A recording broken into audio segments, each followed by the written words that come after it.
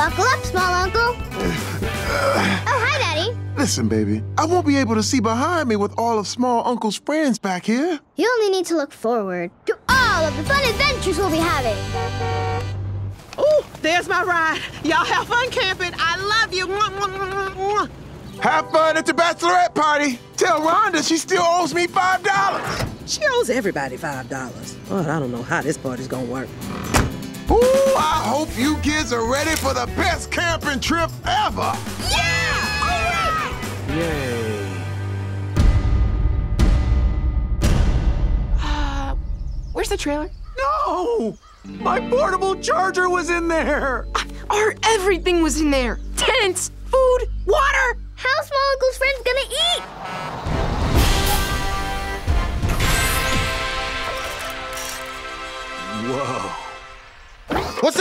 Where my hugs at?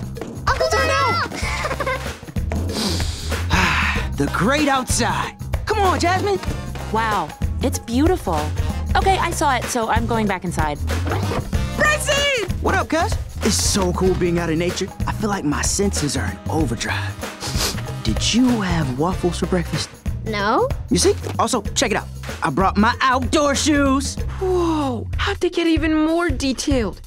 I see you went all out for this trip, huh, Darnell? Yeah, went ahead and bought this RV. You know it ain't no thing. You rented it. Yeah, that's, that's what I said. I bought it temporarily. so don't break anything. But listen, this baby has all the works a canopy, full kitchen, state of the art speakers, and a projector. And of course, all of it is connected through the Bluetooth. Let me see what y'all got. Wait, where's your trailer? Dad forgot it. you kidding? oh, you serious? No, no, this was all part of my camping plan. You did this? Well, y'all more than welcome to camp with us. But only if you admit that I'm the true king of camping. King of camping? Thanks, but no thanks. My family is fine toughing it out. Yeah, tough! What's the Wi-Fi password? They got Wi-Fi? I'm staying with Uncle Darnell. Looks like to me that you're running out of kids. Fine. Then I guess I'll take yours. Come on, Jasmine. Come on, Bryson. Come on, Bryson.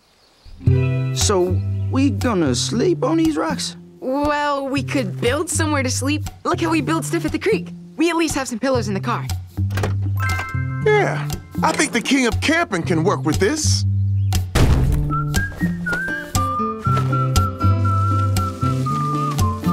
Every rock has a story. You've been through a lot, haven't you? There, Camp Williams. And not a bad looking one at that.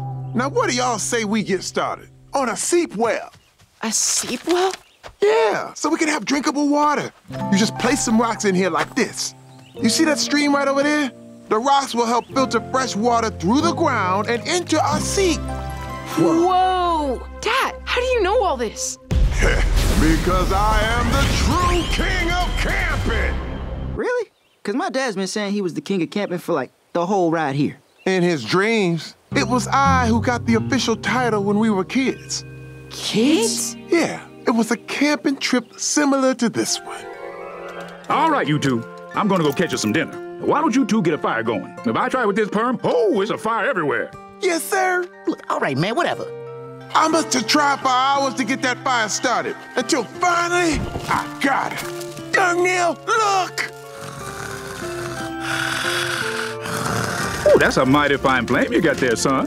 Or should I say, king of camping? And that's how I got this hatchet. Oh, it's a bit rusty, but it's kind of cute. Cute. This thing can cut off heads of cabbages, lettuces, all types of TVY7 vegetables. Dad, the water, it's not foggy anymore. Y'all here drinking dirt water? that couldn't be me. Hey, baby girl, have some of this berry infused water. Okay. That's right. A true king provides for his subjects. Daddy, let me get a water. Do I look like a water fountain to you? You got legs, don't you? Come on, Dad. Let's find some food.